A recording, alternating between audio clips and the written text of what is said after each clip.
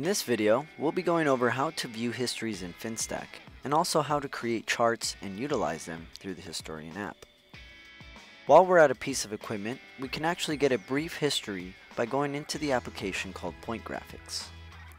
Any point that has histories being trended will have a chart icon that can be clicked on to bring up a quick view of the point's current trend history. You also have the ability to download the history as a CSV, PDF, or JSON file. It's a great way to quickly email the information to your technician or service company. Now another way to view a point's history is through the relative bubbles. If you click on a point that has histories being trended, a history bubble will appear. If you click on that, it will immediately bring up a chart displaying that point's history within the Historian mini app on the sidebar to the right. If you want to get into deeper details or view a more advanced history display to do some analysis, you can pull up the Historian app.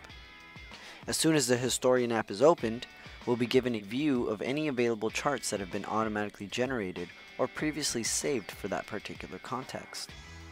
And because it is context sensitive, we can see one of our relative charts is available for this VAV.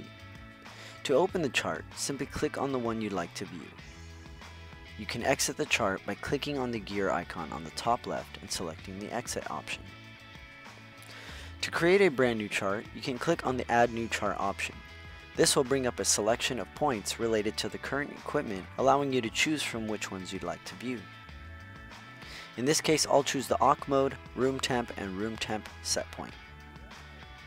If you want to have this relative to all similar equipment, select the relative option. By clicking on the gear, you can go from the mini view to a much larger view by clicking on the launch option. This will maximize the Historian app into the main window. You'll notice that the Historian automatically figures out which points can be compared on the same chart and which ones need their own individual charts. As you can see, the room temp and the room temp set point were similar points, so it placed them both into a single chart to be compared. The occ mode, as a boolean value, was placed in its own chart. At the bottom of the charts, you'll find a timeline with zoom handles that allow you to zoom in and out of the displayed data. You can even grab the slider and pan through the timeline to see the chart unfold in time. Values can be viewed in two different ways.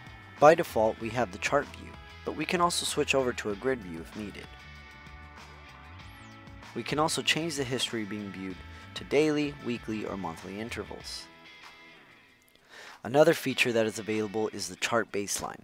This allows you to generate a baseline that can be compared against. In this example, we'll compare this month's data against the previous month. This will then take each of the points and regenerate individual baseline views, allowing you to compare the current history data to the selected baseline data. The series option allows you to customize your chart data even further. For example, we can switch the line view over to an area view, and we can also select how often we'd like the data to be rolled up for each individual chart. The Historian also allows for you to download your chart as a CSV, JSON, or PDF file. Here is an example of what the chart looks like in a PDF file. As you can see, the Historian is a powerful feature built into several parts of Finstack especially as a standalone app.